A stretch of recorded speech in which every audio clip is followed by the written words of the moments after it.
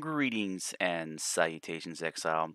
In this video, we're going to be kind of revisiting the dye system, and you know, and this is this kind this message is kind of for the developers too. You know, if, if a developer comes across my channel, um, there's there's two things that I want to point out in this video. One is I, I, I summed up the champion armor, and I really like the the white version of the champion armor. You know, the white whited out version of the Silent Legion armor and so uh, the problem is the Silent Legion and the they don't have gas mask, where the Godbreaker has the integrated gas mask. So you can see here where um, I tried to make the Godbreaker helmet match the white champion armor set. Like usually I don't dye dye the armor sets. Usually I just leave them as it is, unless unless there's a, a thrall that has a specific role like I use him just for farming something or I use him just for killing a certain boss, I'll usually dye his color so it's easy for me to recognize him in the building. But for the most part, I don't really change the dye sets too much.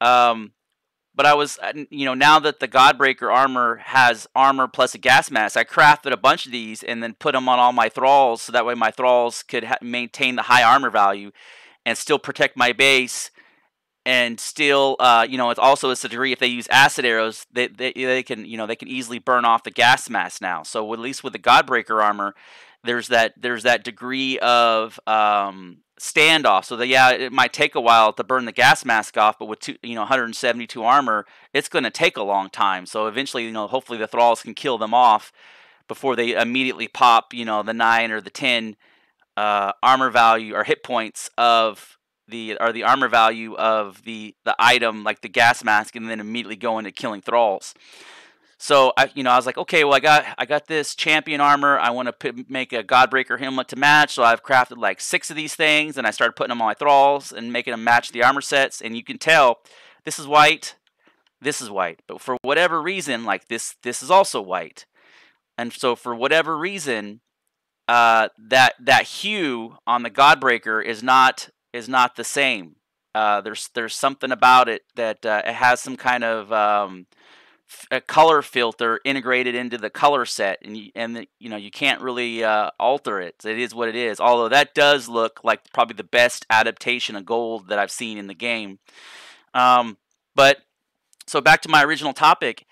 Uh, the reason why, if a, you know, if a developer or a uh, you know one of the one of the team there at Funcom is watching this, so if I go into the admin panel and this this speaks to like attention to detail, right? Attention attention to detail. So if I type in champ, okay, uh, uh, I'm sorry.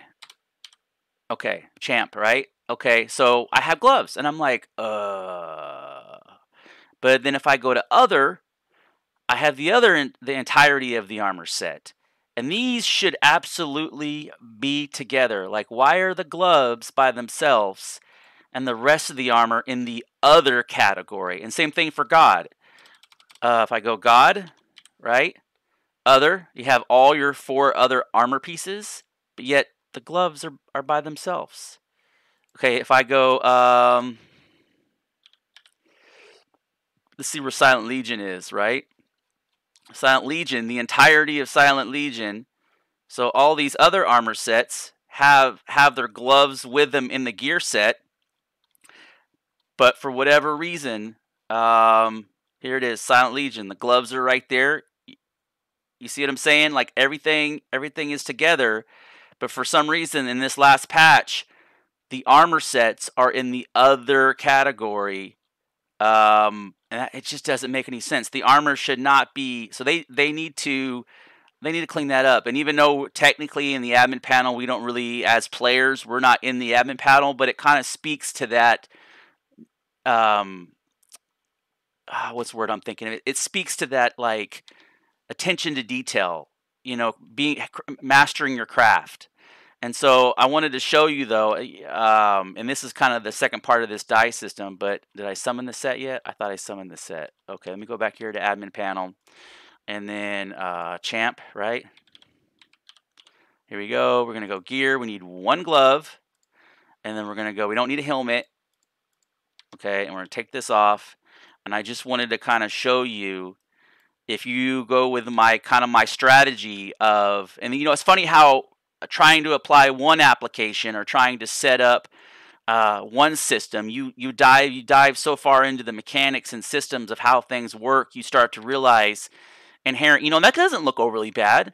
You know, like um, that those two armor sets don't look like they. Um, you know, it's not. It there's it's like a sixty percent match. You know, it's not perfect, not the color, but just the overall art style. You know, it, it works. That works. And then you have the gas mask variant, but the color hue is so far off.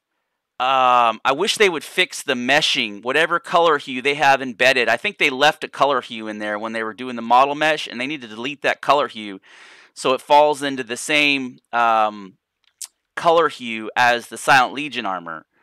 But anyways, uh, as always, I hope this video kind of shapes your understanding. And you know, a big big part of my videos is I always try to broaden perspective. I try to kind of bring uh, and kind of explain systems, how things work, broaden perspective, and uh, you know always kind of give a a criticism, right? Development criticism. So um, you know we all better from our our lessons learned i should say. We all we all develop from from our work and then we you know so uh, anyways like and subscribe. Thank you for watching